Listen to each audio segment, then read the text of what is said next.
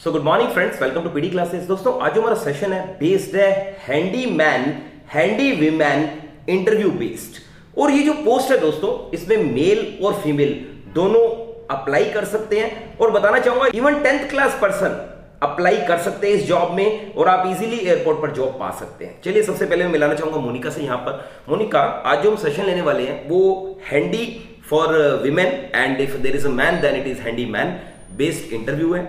और उम्मीद करता हूँ इस इंटरव्यू के अंदर हमें बहुत कुछ सीखने को मिलेगा और जितने भी मैं टेक्निकल राउंड के क्वेश्चंस भी पूछूँगा तो उम्मीद है वो क्वेश्चंस भी हमारे स्टूडेंट्स के बहुत काम आएँगे। और Yes, बताना चाहूँगा हमारे दोनों चैनल्स पीडी क्लासेस और इंटरव्यू गाइड पर आप abundant of videos regarding spoken English personality development body language related videos देख रहे हैं और एयरलाइन रिलेटेड वीडियोस आपको दोनों चैनल्स पर मिल रहे हैं पीडी क्लासेस पर भी और इंटरव्यू गाइड पर भी। चलिए मोनिका मैं आपको सबसे पहले वेलकम करता हूँ। थैंक यू सर चलिए मोनिका सबसे पहले आप मुझे ये बताइए कि हैंडी विमेन का वर्क प्रोफ़ाइल क्या होता है? सर जो हैंडी मैन है जो नाम से पता चल रहा है हेल्पर यस सर ये रिस्पॉन्सिबल होते हैं फॉर इलेक्ट्रिकल मैकेनिकल और जो प्लम्बिंग होती है उसके लिए रिस्पॉन्सिबल होते हैं उसकी रिपेयरिंग के लिए रिस्पॉन्सिबल होते हैं। ओके और ये सर रिस्पॉन्सिबल होते हैं फॉर क्लीनिंग और मेंटेनेंस के लिए। और सर ये जो रिपेयरिंग के साथ साथ जो पेंट करना होता है वॉल्स को डोर्स को विंडोज़ सीलिंग्स को कलर करना होता है वो भी इनकी रिस्पॉन्सिबिलिटी होती है। Okay. सर जो ये एयर कंडीशनर होते हैं और हीटिंग सिस्टम होते हैं उनको रिपेयर करने का भी काम करते हैं। सर ये इनकी रिस्पॉन्सिबिलिटी होती है कि जो मैकेनिकल इक्विपमेंट्स है वो अच्छे से वर्क करें। लाइट्स वगैरह में कोई प्रॉब्लम ना आए। बिल्कुल। और सर जो फिक्सचर रिप्लेसमेंट है वो भी वर्क करते हैं. टाइल्स का भी वर्क करते हैं। इसीलिए इन्हें स्किल्ड जर्नलिस्ट भी कहा जाता है। सर ये पेचिंग और पेंटिंग का वर्क भी करते हैं। As a office girl as a office boy और जो ट्रॉली मैन होते हैं लोडर हैं उनका वर्क भी ये करते हैं। बिल्कुल। और सर ये जो मैकेनिक होते हैं प्लम्बर होते हैं कारपेंटर होते हैं जो एयरक्राफ्ट टेक्नीशियंस होते हैं उनके साथ भी वर्क कर सकते हैं। वंडरफुल आपने बहुत अच्छा वर्क प्रोफ़ाइल बताया रियली हैंडीमैन वीमेन का। चलिए अब मैं आपसे जानना चाहूँगा क्या क्या स्किल्स ज़रूरी होती है अगर आपको हैंडीमैन बनना है तो? सर बहुत सी कॉमन स्किल्स होनी चाहिए जैसे रिनोवेशन प्लम्बिंग इलेक्ट्रिकल मेंटेनेंस इन सब का नॉलेज होना चाहिए। एच ए वी सी का भी नॉलेज होना चाहिए। Full form of H A V C sir heating ventilation and air conditioner okay sir जो हैंडीमैन हैं वो हैंड टूल्स का इस्तेमाल करते हैं उनकी नॉलेज होनी चाहिए। टाइम मैनेजमेंट स्किल्स अच्छी होनी चाहिए। कम्युनिकेशन स्किल्स अच्छी होनी चाहिए। वंडरफुल बहुत अच्छा बताया आपने। अच्छा मुझे ये बताइए कि एक हैंडीमैन अपनी जो स्किल्स है वो कैसे डेवलप कर सकते हैं?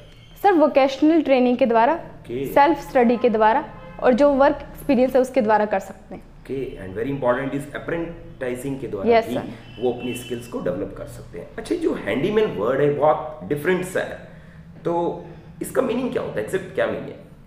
सर इसका मतलब होता है वह पर्सन जो अलग अलग रिपेयर्स में स्किल्ड हो। ओके सर इन्हें हेल्पर हैंडी पर्सन और ओड जेब मैन और जो जैक ऑफ़ ऑल ट्रेड्स भी कहा जाता है। सर इनका वर्क होता है इलेक्ट्रिकल मेंटेनेंस करना। ओके देखिए आप इस जॉब के लिए आ रहे हैं तो मेरा क्वेश्चन है कि आप एक्सपीरियंस है क्या पर्टिकुलर यस सर सर मुझे एक साल का ऑफ़िस मेंटेनेंस का जो एक्सपीरियंस है। ओके सर मेरा यस सर सर मैंने ऑफ़िस में जो भी फैंस और एयर कंडीशनर उनको रिपेयर करने का काम किया। सर जो इलेक्ट्रिकल और जो प्लम्बिंग वर्क है मुझे उसका काफ़ी एक्सपीरियंस है। और सर जो मेरे इसके साथ साथ मैं बताना चाहूँगी कि sir I am creative girl I love challenges Monica आपने जो इतना नॉलेज गेन किया आप बता रहे हैं कि आप जो इलेक्ट्रिकल वर्क है प्लम्बिंग वर्क है ये कैसे आप कैसे सीखे कैसे? सर मैंने आईटीआई में अपना डिप्लोमा किया और मैं घर पे भी कई बार इलेक्ट्रिकल इक्विपमेंट्स को अच्छे से चेक करती रहती हूँ उनको सही करती रहती हूँ और मुझे इस फ़ील्ड में काफ़ी इंटरेस्ट है। ओके मान लीजिए कोई एसी में प्रॉब्लम आ रही है और आपसे समझ नहीं आ रहा आपको नहीं समझ आ रहा इसमें कैसे इसको सॉल्व करना है प्रॉब्लम को। शायद थोड़ी मैं कह लीजिए सीवियर प्रॉब्लम है। तो आप क्या करेंगे? सर मैं बताना चाहूँगी ऐसा मेरे साथ अपनी लास्ट जॉब में एक दो बार हुआ है बट मेरे जो सीनियर्स हैं मेरे फ्रेंड्स हैं वो अपनी स्टडी इंजीनियरिंग में करने आगे चले गए। Okay. उन्हें इंजीनियरिंग का काफ़ी एक्सपीरियंस है तो मैं उनसे काफ़ी हेल्प लेती रहती हूँ। वो मुझे काफ़ी हेल्प करते हैं और मैं अपनी प्रॉब्लम को ईजिली सॉल्व कर लेती हूँ। ओके यू मीन टू से आपको प्रॉब्लम आती है आप उनसे हेल्प ले लेते हैं? यस सर ओके चलिए फिर ये बताइए कि आपने इंजीनियरिंग क्यों नहीं की? सर मैं एक मिडिल क्लास फैमिली से बिलोंग करती हूँ और मेरे लिए कोई भी काम छोटा या बड़ा नहीं है।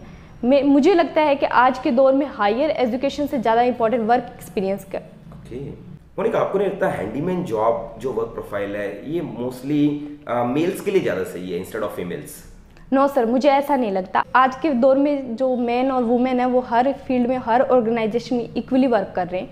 जैसे कि पायलट हो चाहे डॉक्टर हो पुलिस हो इंजीनियरिंग हो हर फ़ील्ड में लड़की और लड़के दोनों इजीली वर्क करते हैं। ओके गुड आपका स्टेटमेंट अच्छा है बट बहुत बार वर्क ऐसे होते हैं जैसा लॉर्डर वर्क और कई बार हैवी चीज़ें आपको उठानी पड़ सकती है। तो ये कुछ प्रॉब्लम है जिसमें आपको टेक्नीशियन जो आपने बताया एयरक्राफ्ट टेक्नीशियंस के साथ आपको वर्क प्रोफ़ाइल करना है तो थोड़ा सा वर्कलोड रहता है। अदरवाइज़ जो ऑफ़िस जो आपने बताया ऑफ़िस बॉय और ऑफ़िस गर्ल की भी जॉब वहाँ पर अवेलेबल होती है तो मुझे लगता है वो आपके लिए बेस्ट रहेगी। यस सर ओके मोनिका आप एयरपोर्ट पर जॉब क्यों करना चाहते हैं?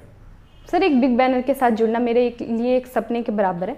I want to change for my betterment okay और मान लीजिए आपको as a trolley man as a larder work मिल जाए या क्लीनर वर्क मिल जाए तो ऐसा प्रोफ़ाइल आप कर लेंगे यस सर मैं डेफिनेटली कर लूँगी work is worship for me और जैसे मैंने पहले भी मेंशन किया कि कोई भी वर्क मेरे लिए छोटा या बड़ा नहीं है आपकी स्ट्रेंथ्स बता सकते हैं yes sir sir my strength I am versatile jovial and philanthropist girl. What is the meaning of versatile? Sir, I can adjust myself everywhere. Adjustable nature. Okay. और आपकी कोई weakness? Sir, I am little talkative. Oh, little talkative. इसके अलावा कोई weakness आपकी? Sir, I need to improve my English. Okay, so you are working upon it nowadays? Yes, sir. क्या कर रहे हैं आप अपनी इंग्लिश डेवलप करने के लिए? सर मैं 70 पेजेस ऑफ़ स्पोकन इंग्लिश और godfather of English grammar पढ़ रही हूँ ओके okay, तो आप इन बुक्स के द्वारा बेनिफिट ले रहे हैं यस yes, सर आपकी हॉबीज बताइए sir my hobbies are I am travelling making new friends and reading motivational stories और सर जो मुझे इलेक्ट्रिकल इक्विपमेंट्स है उनको सही करना अच्छा लगता है ओके okay. और मान लीजिए जिस इंटरव्यू के लिए आप आए हैं ये पर्टिकुलर इंटरव्यू जो है इसमें बहुत से कैंडिडेट्स हैं। तो हम आपको क्यों सिलेक्ट करें? सर मैं अपने आप को उन लोगों के साथ तो कंपेयर नहीं करूँगी। कुछ मुझसे ज़्यादा भी डिज़र्व करते कुछ मुझसे कम भी डिज़र्व करते बट मैं अपने बारे में बताना चाहूँगी। सर मैं हर वर्क को ऑनेस्टली करती हूँ और मैं अपने वर्क को लेकर काफ़ी पंचुअल हूँ। Okay. आप टीम में वर्क करना पसंद करते हैं या alone sir if necessary I can work alone but my preference is team because I am team spirit कर wonderful what does your name mean sir my name is good advisor और मुझे लोगों को एडवाइस करना और motivate करना बहुत पसंद है। And what are your salary expectations sir work is worship for me money doesn't matter for me money not essential thing growth opportunities are more important आपने बताया कि आपको यहाँ पर एयरक्राफ्ट इंजीनियर्स इस तरीके के लोगों के साथ काम करना पड़ सकता है। इवन आपको मकैनिक और प्लम्बर के साथ yes, भी वर्क करना पड़ सकता है। तो जब आप लोगों के साथ काम करेंगे yes. तो आपको किस तरह के लोगों के साथ काम करना पसंद है? सर मैं उन लोगों मैं हर तरह के लोगों के साथ वर्क कर लेती हूँ बट आप प्रेफरेंस पूछ रहे हैं तो मैं बताना चाहूँगी मैं उन लोगों के साथ वर्क करना पसंद करूँगी जो अपने वर्क को लेकर काफ़ी ऑनेस्ट है पंचुअल है अपने टाइम को लेकर। इस तरह के लोगों के साथ वर्क करना पसंद करूँगी सर। और किस तरह के लोगों के साथ आप काम करना नहीं पसंद करते? सर जो लोग लेजी हैं अपने वर्क को काफ़ी लाइटली लेते हैं फ़र्स्ट प्रायोरिटी नहीं देते हैं उन लोगों के साथ वर्क करना पसंद तो मान लीजिए आपके कुछ टेक्नीशियन है वो लेजी है लिथार्जिक है तो आप उनके साथ काम नहीं करेंगे? सर जैसे मैंने पहले भी मेंशन किया कि मैं वर्सेटाइल हूँ मैं अपने आप को हर जगह एडजस्ट कर लेती हूँ। बट मैं उनको कन्विंस करूँगी कि वो अपने आप को सुधारें। सर वो अपना वर्क टाइम पर नहीं करते तो मैं उनसे रिक्वेस्ट करूँगी। अगर फिर भी वो अपने आप को इम्प्रूव नहीं करते हैं तो मैं उनकी शिकायत करूँगी sir okay so you are bold girl yes sir okay चलिए अभी मोनिका ने बहुत अच्छा इंटरव्यू दिया और अब समय आ गया उन व्यूवर्स को बेनिफिट देने का जो लास्ट तक हमारा वीडियो देखते हैं और yes. लास्ट में टिप ज़रूर देते हैं और आज का टिप बहुत इंटरेस्टिंग है दोस्तों ध्यान से सुनिएगा। देखिए जब आप इंटरव्यू देने जा रहे हैं आप अच्छे से जानते हैं दोस्तों इस पर्टिकुलर जॉब के लिए हैंडीमैन जॉब के लिए आपको कोई बहुत बड़ा वर्क प्रोफ़ाइल आपको कोई बहुत ज़्यादा एक्सपीरियंस बहुत बढ़िया एजुकेशन की ज़रूरत नहीं है। इवन टेंथ क्लास पास भी आप हैं तो आप अप्लाई कर सकते हैं। देखिए इस जॉब में सबसे ज़्यादा इंपॉर्टेंट होता है आपका कम्युनिकेशन स्किल्स आपका नॉलेज और हैंडीमैन जैसा ऑलरेडी आपको बताया मोनिका ने कि इसको एक तरीके से वर्ड सहायक इसलिए बनाया गया, इस पर्टिकुलर पार्ट को इसलिए दिया गया ताकि जहाँ पर भी ज़रूरत हो, आपको लगाया जा सके, आपका बेनिफिट लिया जा सके। तो इस बात का आप ध्यान रखेंगे कि आप वर्सेटाइल नेचर के रहेंगे। अब बात आती है कि इंटरव्यू के दौरान आपसे बहुत इंपॉर्टेंट क्वेश्चन पूछे जाते हैं। फॉर एग्ज़ाम्पल आपसे पूछा जाए कि हम आपको क्यों सिलेक्ट करें? तो आपके पास एक बढ़िया आंसर होना चाहिए दोस्तों। आप सबसे पहले इंटरव्यूअर को बजाय ये कहने के कि आप अच्छे पर्सन है, आप डिटर्मिंड है, आप कॉन्फिडेंट है, आप पहले ये कहिए sir first of all I would like to thank you for giving me this opportunity उसके बाद नो no डाउट आप कह सकते हैं I am determine dedicated person specially towards my work अगर आपको एक्सपीरियंस है तो अपना एक्सपीरियंस बताइए। अगर आपकी एजुकेशन मैच करती है इस पर्टिकुलर प्रोफेशन के साथ तो आप बिल्कुल अपनी एजुकेशन को भी एड ऑन कीजिए और लास्ट में एक पंचलाइन ज़रूर दीजिए sir I really need one chance to show my strengths definitely आप बहुत अच्छा इंप्रेशन डाल सकते हैं अपने इंटरव्यू के आगे। उम्मीद करता हूँ कि हमारे एयरलाइन रिलेटेड वीडियो आप दोनों चैनल्स पर देख रहे हैं। Thank you so much Monica for proud of you for this particular interview आपने बहुत अच्छा interview blessings thank you sir thank you